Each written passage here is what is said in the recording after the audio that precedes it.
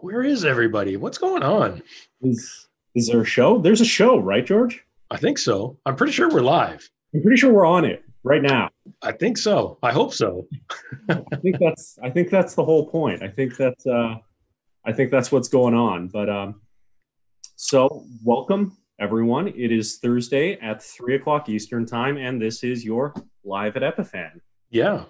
And today we are going to be covering, I think, uh, a topic that it looks like in chat already people are pretty uh, interested to hear about. And we're going to be talking about uh, working from home and all the various things you might need to take into consideration uh, along those lines. Um, and uh, as some people, Rudy had already mentioned in chat, and a few other people mentioned in chat, uh, that you know this is a hot topic right now, and some people might need to get some some tips. So we have some. Yeah, it's obviously very pertinent right now. We're seeing a lot of places uh, either with existing work from home policies or they're rolling out work from home right now just because of the situation happening around the world right now. And this might sound a bit cynical, but it's never been easier to really roll this kind of process out uh, just because of how far video conferencing technology has come. And I mean, this is a great time to discuss some of the options to really elevate your work from home setup. Yeah, and uh, so we're going to be covering each of those in uh, in a few different scenarios. Um, and uh, you know, obviously, throw your questions into chat. Uh, we'll come back around to those, and uh, we do see some of our usual viewers: Faithful Mess, Tim Trot, uh, and so on. welcome, everyone. Um, let's start with maybe the first question: is is you know ob- aside from the obvious in the current uh, in the news uh, but why work from home aside from obviously when you're told to by the boss? I mean sometimes you might have a dentist appointment or an optometrist appointment closer to your home than to your office. It's it's a lot easier for you to just pop out there really quick get back to work without any sort of delay in your day.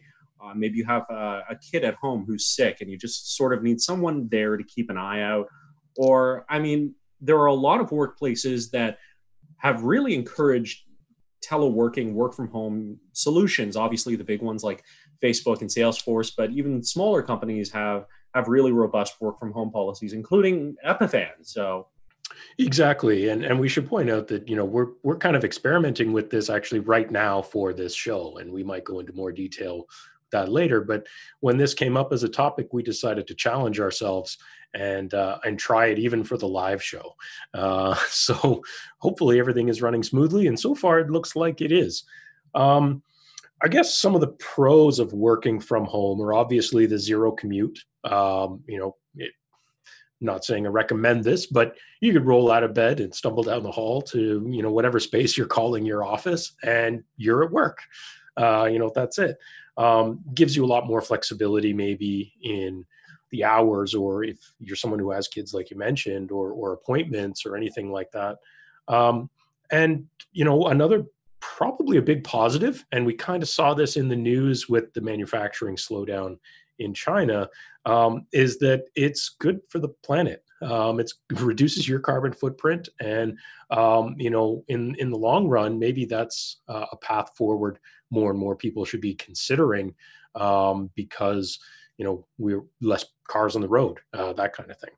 Yeah um, really big picture uh, big picture options but exactly. And and as our colleague lisa mentioned the other day you get to wear your comfier clothes maybe. Um, you know you can kind of be more relaxed uh, in your own home environment.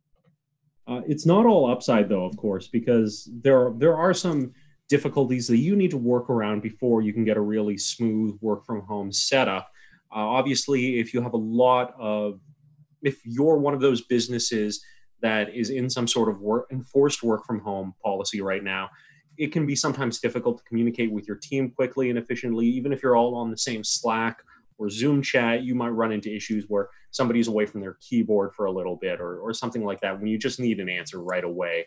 And of course, if you live with other people, uh, be it you know family, roommates, pets, what have you, you might run into situations where maybe they've got the music on too loud. Maybe they're constantly just walking in through the room while you're in the middle of a really important uh, video call. And those are some things that you are going to need to really consider if you're going to, you know, take your home video conferencing really seriously. Yeah, exactly. And you know, there's there's a lot of things around there um, that you know some people think that working from home is also really easy, but it it also takes a lot of discipline um, and making sure that you have you know dedicated space, no distractions, um, and and actually stick to a routine because it changes your normal you know office routine completely. Um, and you know that that's a big challenge that until people find themselves in it day after day don't realize how hard it truly is. Um, and and that that requires quite a bit of effort and, and like i say discipline um, you know so that's something to keep in mind as well not everyone can adapt to that as easily as others I think that's why we saw a big rise in co working spaces recently because a lot of people were working from home and realized, you know what, I actually like having a dedicated physical space that sort of puts me in the mindset of, okay, I'm going to be working from now yeah. on. Um, yeah, it's easier to put the bookends on it when there's a physical space related to it. And all right, well, let's just jump into it. Today, we're going to be talking about three different sort of levels of setup for how you can do video calls at home. So, this is some really basic stuff. Uh, if you're working from home, you're going to have to keep going to your meetings, keep making your sales calls, keep talking to your business partners and stuff like that. And you can really make it a seamless experience, uh, experience that makes it look just as professional as if you were in, you know, the high rise office or what have you. And with some preparation, you can really get a really professional image broadcast out to the world. So, George, let's jump into example one. Yeah, well, example one is uh, actually your example right now, and that's the acceptable level in a pinch. Um, you know, where you basically grab your laptop, you sit down in a room, you flip the lid open, you turn it on, and you go. Um, you know, there's definitely some considerations even within that very run and gun style that you want to make sure of. Lighting is a big uh, thing you want to pay attention to um, and and obviously you know the camera and positioning and and the microphone you plan on using and your background um, so maybe tell us a little bit about your particular situation right now which to be fair we've known for a while you're going to you know change this but yeah. uh, we left it this way for the show Yes, thank you for raising that. Uh, so it doesn't seem like I don't know how to set up a video, but uh, I've got this in my uh, my spare room at home, which is set up as an office. So I've got a big window in front of me, so I can at least get the light in correctly. Uh, and I literally have just popped the laptop open on the desk, and I'm using the native webcam in the uh, in the laptop and the native audio from the laptop as well. So that this is sort of the quality you can expect from that. And one of the considerations you have to put in is you might be getting some weird angles depending on how you end up laying it out. Because of course, I've got uh, this this Dell laptop where instead of the webcam being sort of top and center, it's at the bottom left. So if I was to start typing or something, you might start seeing my fingers, anything like that. So that could become a consideration in any kind of call you might be doing or anything like that. And of course, I'm kind of fortunate that this is my spare room because I mean, there's a shelf in the background, but there's not a lot going on. Um, so it doesn't look too, too distracting. But uh, obviously, in some situations, you might want to pop it up in the kitchen or something like that. And of course, that might may present some some more complications in terms of either just sound or lighting, or as I just mentioned, set deck in the background. Yeah, it's it's it's funny because that laptop, that Dell laptop that you have, has some pros and cons its microphone that's built in is actually for a built-in laptop microphone is actually exceptional. Hmm. um, and its its way of noise isolating between the speakers and the microphone are very good. Um, and the camera quality is actually very good but the positioning of the camera is maybe one of the worst on a laptop i think i've ever seen. Um, but that being said any laptop even when it has it in, at the top of the screen just because of the way we tend to position laptops means that you're always going to get this strange, you know, up the nose angle um, that is not flattering. It's not ideal, um, and it just it doesn't look great. It doesn't present a good feeling. It'll definitely do in a pinch, uh, and I definitely think for internal communications uh, between staff members, it's totally fine. Um, when you and I chat this way, it's totally fine. It doesn't matter because the visual representation between the two of us doesn't matter that much. However, if you're talking about making external video calls, hosting clients, doing business that way, maybe you're, it's sales, something along those lines, you probably want to step it up a notch. You probably want to do a little extra uh, and move in, into something more and maybe even invest a little bit in some of the gear. Um, so why don't you tell us about what that next tier looks like? Well, I mean, that next tier is exactly what you've got going on in your home office right there, a, a George. Yeah. Uh, so you've got well, I mean, do you want to pull back the curtain? Because I mean, yeah, I can hear a little bit. Um, I'll try to just do it here. Look, I mean, really quickly. like you're in the studio. But, uh, yeah, it may look like I'm in the studio, but I am in fact not. I am sitting in front of actually a very poorly put together uh, green screen.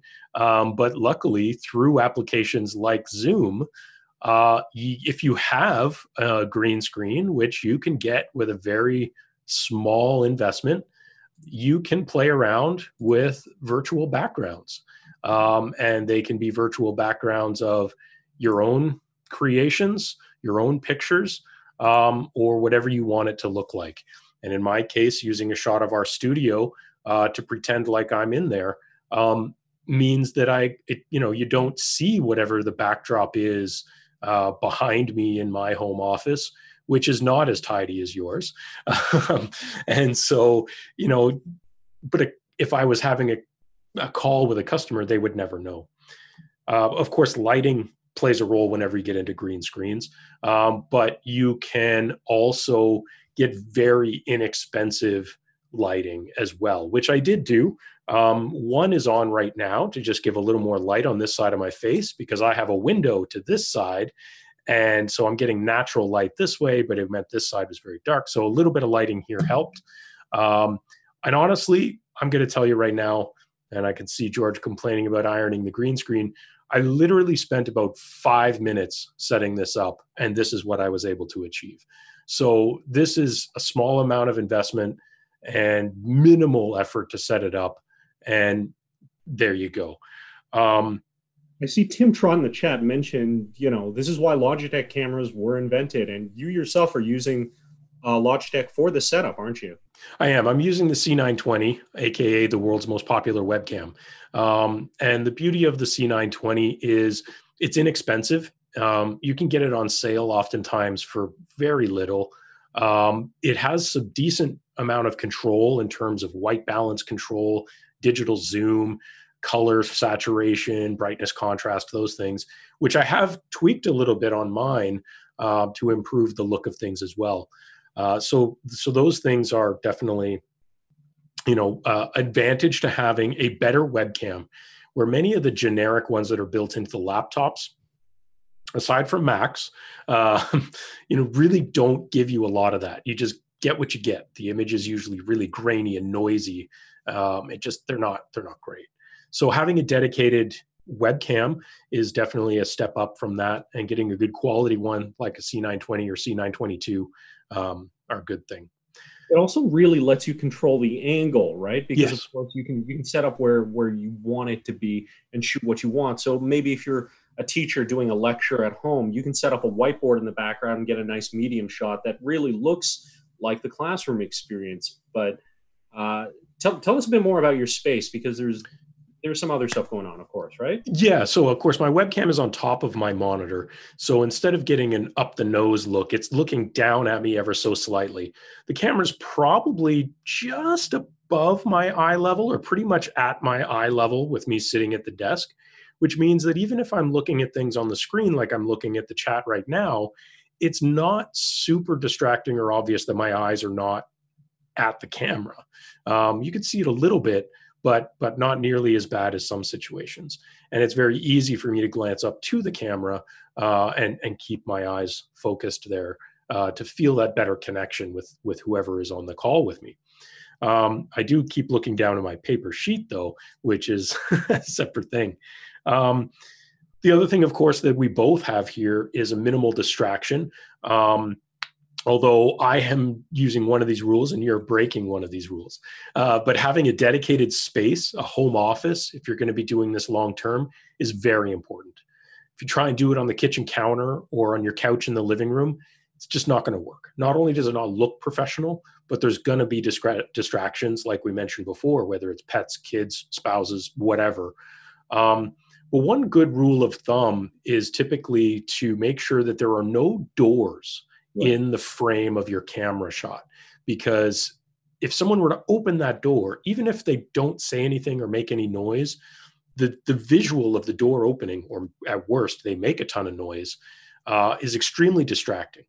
If it's off to the side where where mine is you know complete opposite end of the room off to my right if someone were to open that door right now um, the people i'm talking to would never know. Uh, they would have no idea and it's more likely the person walking in would see that I'm doing something because they're they're coming in from the side back, and they would know to be quiet. Um, so that's an important tip. And of course, there's that sort of infamous example of that uh, that South Korea expert on BBC whose kid and then wife and then other kid just sort of exactly exactly. That's the best example of the what not to do. right. Um, the audio quality is also something you're really going to have to consider because yeah. even if you've got great quality video if they can't understand what you're saying that video call is useless. Yeah exactly. And so we you know we mentioned that i would say your laptop using the built-in microphone is actually an exception uh, to the rule because most built-in microphones on 99% of the laptops that I've encountered, and I trust me, I run into this every single day with customers, other staff, just people all over the place. Most built in microphones are trash, they're horrible. So I would strongly recommend not using one uh, whenever possible. Um, so the alternative is look at a good quality headset which gives you a lot of options. It gives you noise isolation around you um, because, again, minimize distraction. If it has a boom mic on it, it means you can usually get pretty good quality. Although, if you cheap out on this, it will also be pretty bad. So, you want to spend a reasonable amount of money on a good headset to do it that way. The other option, which is what I'm doing right now, is using a dedicated uh, microphone. And so, in this case, I'm using um, a Yeti Blue Nano, their mini version of the of the Blue Yeti. Um, there's obviously the bigger one that's extremely popular. Um, so those are are definite good positive options. And what I've done is I just have it on a arm that's attached to my desk so that I can move it in and out. And you can just see, maybe not even in the stream, but just at the bottom edge of my shot, you can just barely see the pop filter that I have in front of it as well. Um, and this again, a pop filter, very inexpensive upgrade to a to a microphone, just to just in case. Um, got the audio a lot. Exactly, and and honestly, right now I'm sitting a good 14 inches from the microphone, um, and so that again just gives me breathing room, gives me more space. I can sit back a bit more, and I'm not sacrificing the quality of the audio tremendously. Um, I will say I have done no sound treatment to the room, though.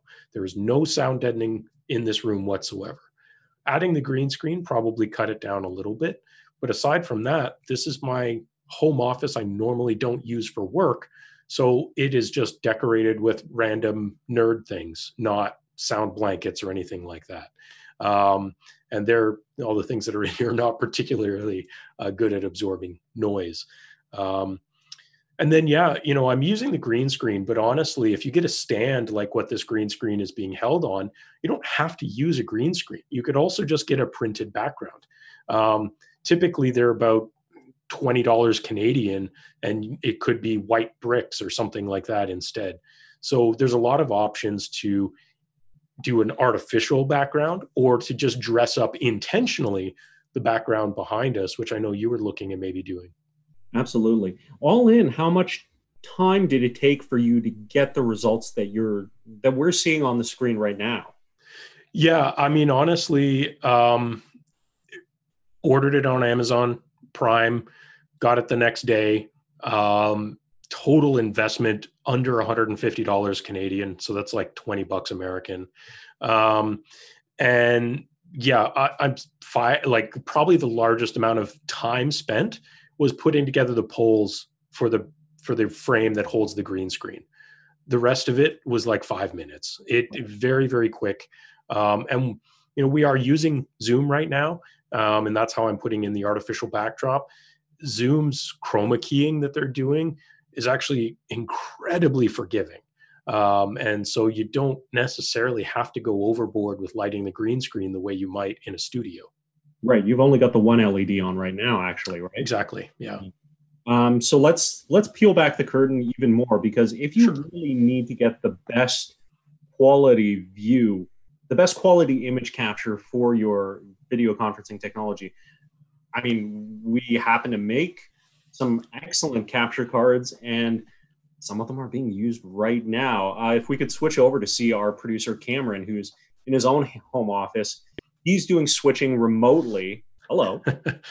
hey guys, how's it hey, going? Good. In your uh, respective cities in the Ottawa area. Yes, exactly. uh, Cameron, tell us a bit about what kind of layout you got going on. So, um, as some of our viewers know, obviously we make a few different solutions for hardware encoding, and one of those is the AV.io 4K. And so, with the AV.io 4K, it offers a USB 3 interface on one end and a USB interface on the other. And I'm actually bringing in a USB signal from a uh, Sony A6300, just paired with a 50 mil, a 50 mil lens, as well as just one spotlight that I've got bouncing off of the the roof in my office here to give as nice kind of soft a light as possible. And really this setup although it includes a couple of pieces of kit that can be a little bit pricey you can pay a lot of money for a dslr uh, the 6300 for example you can grab one of those for like $1200 for the body a few hundred dollars for the lens but it really gives you that pro look and i mean we could even use this setup for creating like vlogger videos or instructional videos. Like this is a pretty a pretty easy setup and running it directly into the computer uh, obviously i could bring it right into quicktime if i had a, a, microphone on the camera do edits on that video really quickly. But uh, just to get back to the setup itself i do have a, uh, a Rode usb mic and everything is running through zoom so Zoom is handling all of our video and putting us together in this chat room. And then in the chat room itself, we're pulling all of those individual sources out. Yeah, and to be fair, one of the big things that we mentioned, you know, in or we need to mention in terms of consideration, and Linda was mentioning that Cameron's a bit choppy. I noticed that too, uh, just for a second there. Um, and we've seen this over a few tests like this. Um, to be fair, Cameron lives on an island in the middle of nowhere. Um, and so he doesn't have the best uh. internet. And that's a big consideration when you're looking at working from home.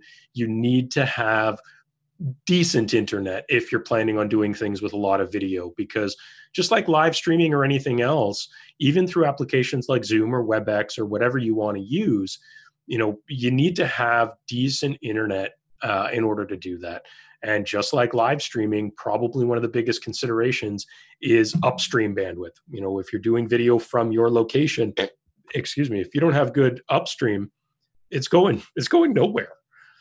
And you, people will notice because the video will get choppy. You might see some artifacting. You might have audio drop out. And this is something obviously yeah you really need to you really need to take into consideration when you work on this setup. You also mm-hmm. need to try and figure out what kind of conferencing software you want to be using. I mean, I know a lot of companies use Slack. Um, we're using Zoom for this, of course. Um, But I mean, there's there's a wide array of options out there, and you you are going to have to do a bit of research, do a bit of reading yourself, figure out what really best suits the needs that your your organization is is putting forward. Yeah. I mean, well, we've, hash, we've had hashtag... a lot of experience with different uh, chat aggregates like this one with Skype and even using iMessage to bring in yeah. guests onto the show. Uh, I would say in general, Zoom has actually been able to handle it really well. Yeah. Um, just back to the bandwidth, I did a really quick speed test. You might have noticed I got even more choppy when that was running, but uh, I'm only pulling down 13 right now, and I'm actually putting up about four to five megs, so 14 down and, and uh, 5 up. But considering that I'm also running all of the all of the traffic through a VPN, which is on our secured server in order to access our studio in Ottawa, as well as the additional capacity for running the. Um, it's actually doing very well. Different things. I'm actually doing not not too bad. Yeah. Um, yeah. So, I mean, hashtag not sponsored. We are using Zoom. We are talking about Zoom quite a bit. Um, it's definitely extremely popular these days.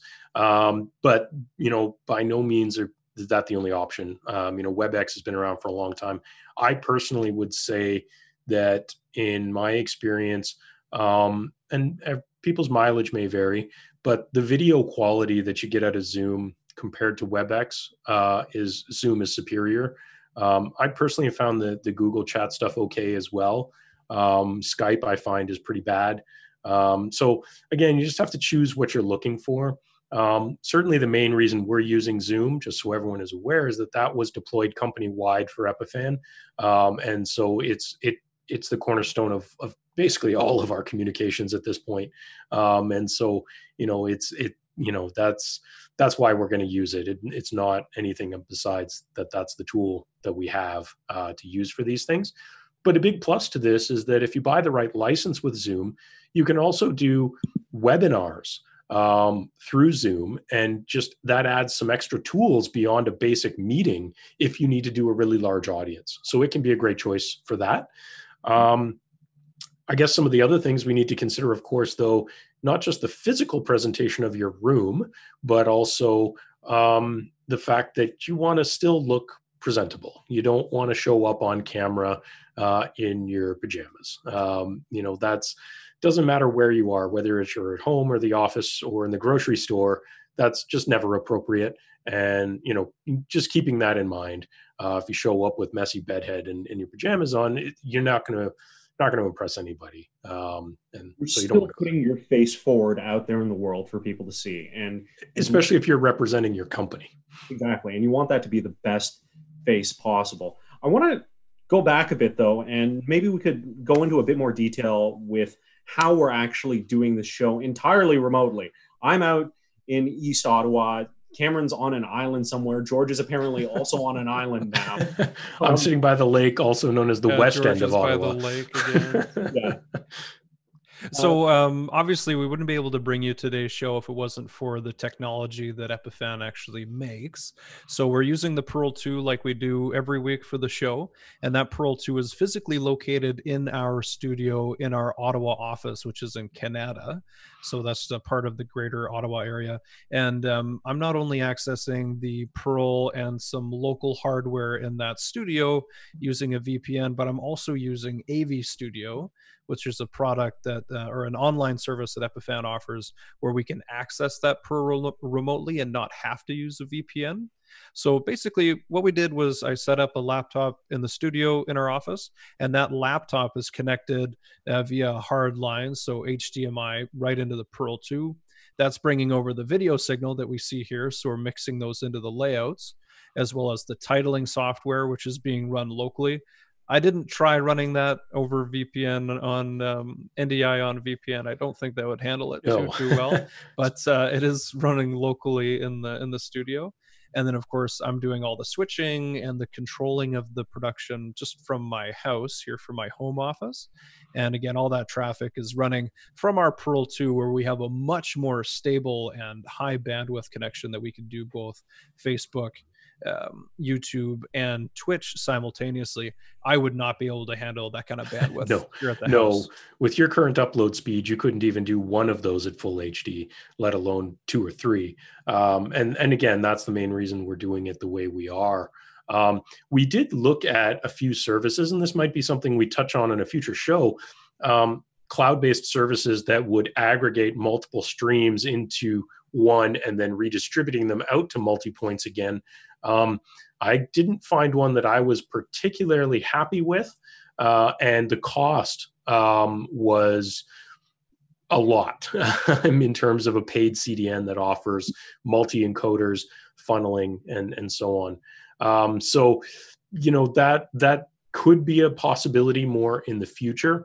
At the moment, uh, one of the best ways to do it is is like we're doing now um, by using a hardware encoder like the Pearl um, taking a feed out of your video conferencing system. This could even be a hardware video conferencing codec like you see in many boardrooms. Um, just taking the feed out of there into a Pearl, streaming and recording to however many destinations you need. Um, and then you can do whatever it is that you need to do. Um, and uh, yeah, that makes it very easy. And it also means it doesn't matter what conferencing software you choose to use. Yeah. It you could use an entirely free one and still accomplish exactly the same thing. So, I mean, I think that sort of covers it in terms of stuff that you can do to really elevate the way you work from home, elevate your video conferencing, your video calls, either internally or externally. And as we saw, like even with little small touches, you can get a really a huge world of difference. Like George, I think you, I recall you said it took like what, maybe 15 minutes to get the whole thing set up from. Yeah, yeah, exactly. It, it, probably took more time trying to find the parts I wanted on Amazon than it did to actually put them together. So obviously, this situation that a lot of businesses and a lot of organizations and a lot of people around the world are facing, it's not going to go away anytime soon. So we're going to continue to keep talking about solutions for remote working, video conferencing, remote classrooms, that kind of thing in the coming weeks. So everyone that's watching, thank you so much for coming out, and we hope that you'll. I mean, you'll. We hope you'll come back again next Thursday at three. So because we've got a lot more to get through on this. Exactly, exactly, and I really appreciate Faithfulness's comment there uh, earlier. Business uh, from the chest up, pajama party from the waist down. Uh, that, uh, yeah, too much information. Too much information for me. Well, was it wasn't it uh, Tom Brokaw or um, CBC's uh, head head anchor, and he would just wear shorts? Yeah. Right. I mean, so we just not? had a, a, dress shirt and then they went and then they put in like a standing desk and he was like, oh, great. Now I got to wear pants on the national every night. This is why did we have to get ideal. a long shot? What is this? Exactly. Exactly. yeah, exactly. But uh, anyway, on Facebook, YouTube, sub- hit that subscribe button, follow us on Twitter, and we will continue to push out more content about telemarketing, working from home, conferencing from home, uh, to address the needs that we know a lot of people are facing right now. Exactly. We're only at the beginning and we got a lot more planned. All right. Thanks, everyone.